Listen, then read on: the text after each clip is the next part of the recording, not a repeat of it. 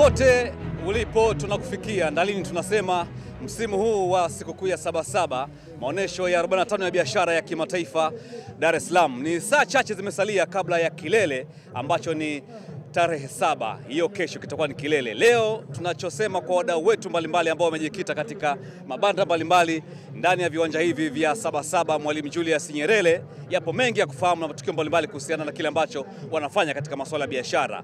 Kuna nini? Mimi Godfrey Kusolo nitakuwa hapa pamoja na mwenzangu uh, Kevin Muhamba na Mwanahamisi eh, Saidi, wao katika ba baadhi ya mabanda mbalimbali pia wakituambia matukio mbalimbali kutoka kwa wadau. Kuna nini? Usiondoke.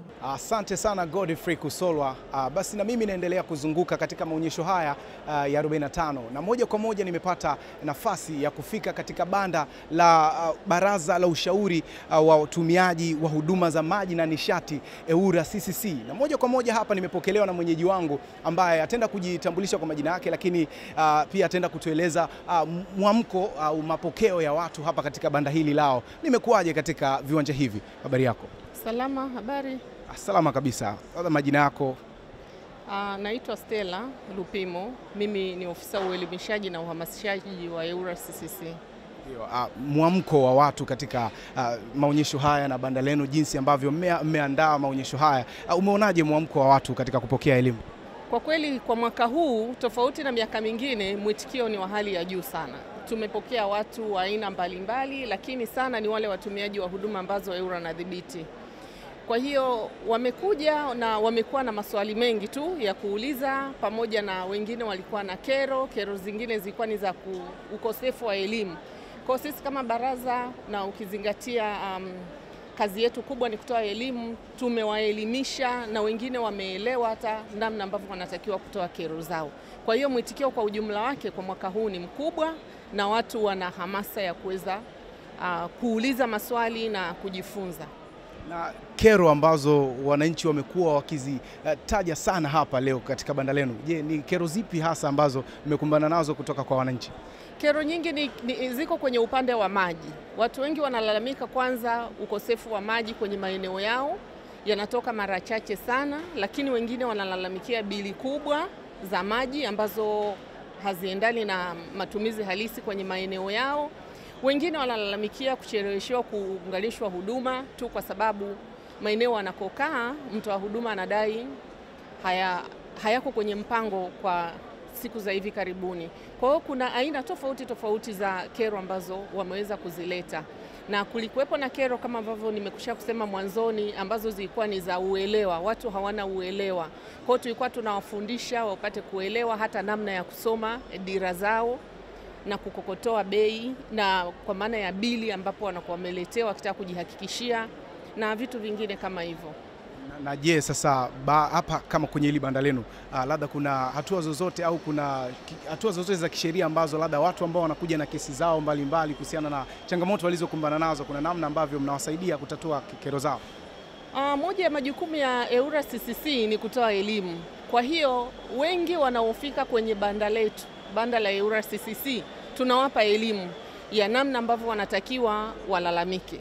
Kwa hiyo cha kwanza ambacho tunawaelimisha ni kwamba unapokuwa na lalamiko ni lazima ulitafute, uliweke kwenye maandishi, ulipeleke kwa mtoa huduma na nakala ubaki nayo kwa ajili ya ufuatiliaji.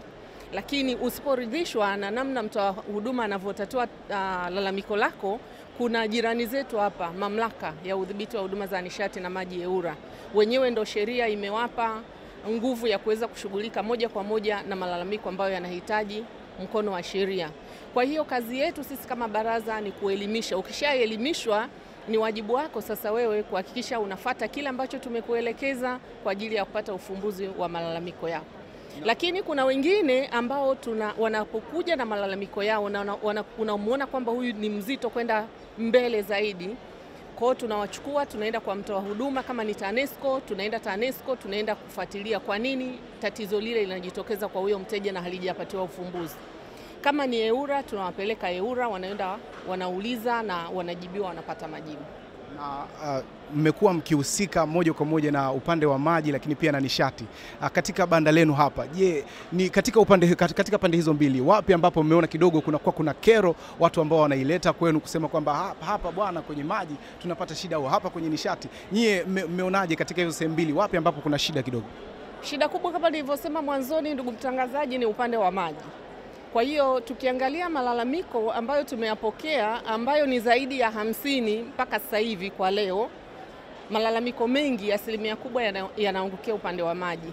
Kwa hiyo kwenye maji pale kuna tatizo, na tatizo ni kwamba sasa wenzetu wa mamlaka ya maji kwa hapa Dar es Salaam hawajashiriki kwenye maonyesho. Ingekuwa wameshiriki na wenyewe, ilikuwa ni rahisi sisi kumchukua mteja mwenye malalamiko yanayofanana fanana na kuenda kwa mtoa huduma kwa ajili ya kwenda kutafuta maelezo, kwa nini kero kama hizo zinakaa zinajirudia rudia. Lakini hata hivyo, tunawaelimisha watembelee ofisi za DAWASA ziliko, wawasilishe malalamiko yao kwa kushirikiana na kamati zetu za mikoa. Kwa hapa Dar es Salaam tunazo kamati tano. Tunayo kamati ya Kigamboni, Ubungo, Kinondoni, Temeke na Ilala. Kwa hiyo inategemea unaishi wapi. Huko unakoishi tutakuunganisha na kamati yetu, mtafuatilia kero yako mpaka pale itakapopata ufumbuzi. Kama, kama ambavyo nyinyi ni baraza la ushauri mmeandaa me, mikakati ipi au kuna programu gani ambazo zinaenda kuwafikia sasa walengwa au walaji wenu kule mtaani? Uh, kuna miradi au, au prosesi mbalimbali ambazo mmeziandaa kwa ajili ya kuwafikia mtaani ili wajiandae sasa kuwapokea? Tunao mkakati wa mawasiliano wa baraza ambao ndo umeainisha namna ambavyo tunawasiliana na wadau wetu. Moja ya njia za kuwafikia wateja wetu ama wadau wetu wa huduma zinazodhibitiwa na EWURA ni pamoja na kushiriki kwenye maonyesho kama haya, lakini pia tunafanya semina kwa makundi mbalimbali mbali. Tuna makundi wa um, watu kutoka serikali za mitaa, watu wa um, viongozi wa dini, wanafunzi, wanavyuo na wengineo. Kwa hiyo mikakati iko, tunafanya seminars, lakini pia tunashirikiana na vyombo vya habari kama hivi kwa ajili ya kutoa elimu iweze kuwafikia watu wengi, na wenyewe sasa watumiaji waweze kushiriki kuwa ni sehemu katika uboreshaji wa huduma za nishati na maji hapa nchini. Labda sasa kwa kumalizia, unawaambia nini sasa wale walengwa wenu au walaji wenu moja kwa moja kama EWURA CCC, unawaambia nini kwa kumalizia?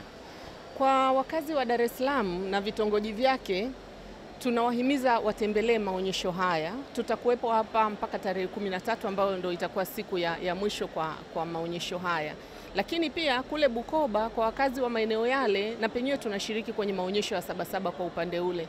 Kwa watembelee mabanda yetu, wapate elimu, waje na maswali, waje na ushauri, lakini pia waje na malalamiko. Sisi tutawaelekeza namna bora ya kufanya na kwa yule mlalamikaji ambaye anaona kwamba ametingwa sana sana, anaweza akaliomba baraza uh, ku, ku, kufuatilia masuala yake ya malalamiko kwa niaba yake. Baraza, kanuni zipo zinaruhusu kabisa kufanya hivyo. Asante sana. Kutoka katika banda hili la EWURA CCC moja kwa moja tumetoka kujifunza mambo mbalimbali mbali kama, kama mdau husika uh, kabisa uh, katika kupokea huduma wanazozitoa hapa Eura CCC. Nimetoka kuzungumza na dada Stella Lupimo ambaye yeye ni afisa uelimishaji na uhamasishaji sisi EWURA CCC. Mengi kabisa tumejifunza, na mpaka kufikia hapo nikurudishe kwake Godfrey Kusolwa. Ulikuwa nami Kelvin Muhamba.